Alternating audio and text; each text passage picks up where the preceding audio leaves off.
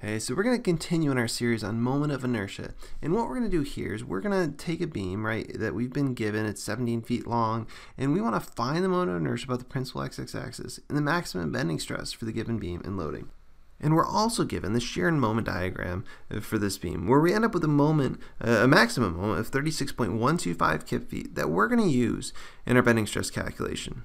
Really what I want to focus here on with this video is the moment of inertia and the bending stress. So in this problem, we are going to start in using the parallel axis theorem. So in a previous video, we just looked at basic rectangular shapes, but here we have two shapes. One has is basically rectangular, so we can you know take a look at the moment of inertia of a basic rectangle, which is just Ix equals bh cubed over 12.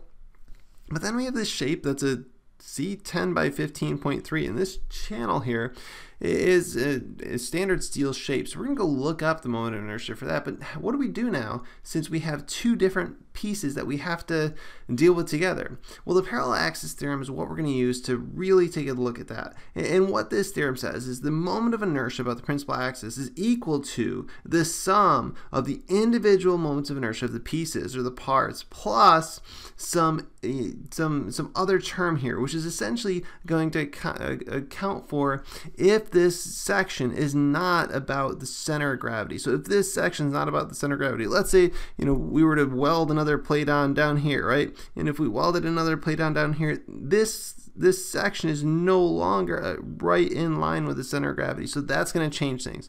Well, in this case, we don't have that, right? So I'll take it out. And what we do have, though, is we have two sections that are symmetric about the principal axis. So the center of gravity of this thing is just going to be right along this axis, right at the center of these two members. So this term in the parallel axis theorem is going to go away because all of the moments of inertia, the principal moments of inertia line up with the principal axis here, xx. So let's get started and go through it. So first, what I'll do is I'll just finish this, right? I'll finish uh, my formula here for Ix for this rectangle. So the rectangle, what do we have? Well, Ix equals bh cubed over 12.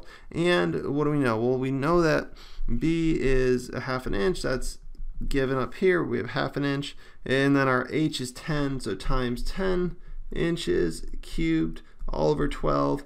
And what I get when I do that out is 41.67 inches cubed. Okay, that's cool. And next what we want to do is we want to take a look at this channel. And to do that, I'm going to use make use of uh, AISC shapes database. And this is really neat. So if you haven't taken a steel design course, it's okay. You don't need to yet. And probably chances are you haven't taken one yet. But AISC is the American Institute of Steel Construction and they have a database that gives you properties on all these shapes. Unfortunately for us, it's free and publicly accessible. So what I can do here is I can pull up the AISC website, and in this website, right, AISC.org, publications, I'll post the link below. What you have here is under the Shapes database, you have the Shapes database. You can click on this and just download the Excel sheet. So I've gone ahead and done that and I'll pull it open here. And when I pull it open right this is the shapes database. There's a readme file disclaimer and all sorts of other information. But what you'll notice is that in this shapes database and I'm not going to go through all of it but basically you can see that there's uh, any channel that's in the AISC uh, table you can go find. So I can come to the database and I've already pulled this one up here. But a channel 10 by uh, 15.3 here, right, it is has a moment of inertia in Ix about the principal axis, its own center of gravity of 67.3. So I can come back here and just write that in. I didn't have to go calculate it. It's just given, right? This is 67.3 inches to the fourth. Oh, and I made a mistake. Inches cubed, that's incorrect. It's inches to the fourth here.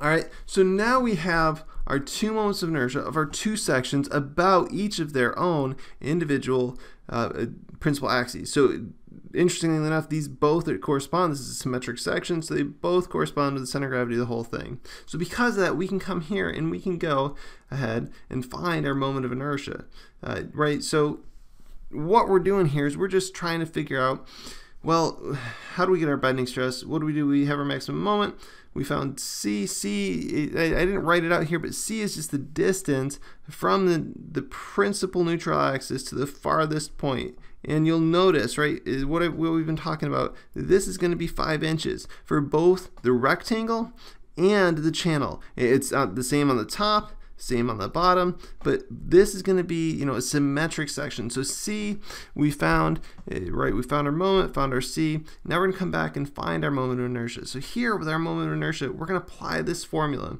but this AD squared term goes to zero again because this central axis is, is in the center and this section is symmetric, okay? So when we do that, let's write that out, and we get I x equals well, I naught, or the sum of I naught plus AD squared, so I'll just write it out again here. But here what we get is the sum of I naught is just going to be 41.67 inches to the fourth plus 67.3 inches to the fourth.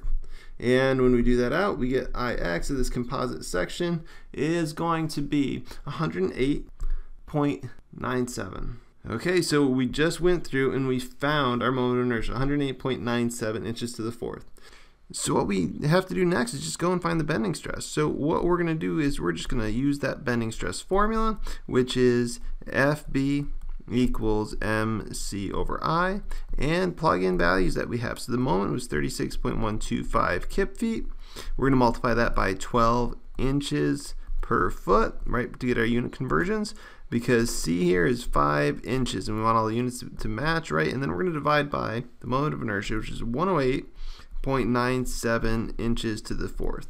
When we do that out, we get our bending stress equal to 19.9 kips per square inch. So that's our answer. We've done it, we've solved it, and we're good, right? We went through, we found the maximum moment, right? We got that from our uh, moment diagram. We found C, which in this case was the distance from the principal axis all the way to the farthest edge we went and found our moment of inertia, which uh, entailed imply, applying the parallel axis theorem. Right. In this case, the AD squared term was zero because everything was symmetric about the x-axis. And then we went and found our bending stress. Hey, so I hope that helps. And uh, there'll be more videos, so make sure you check them out. But until next time, keep working hard moving onward and upward.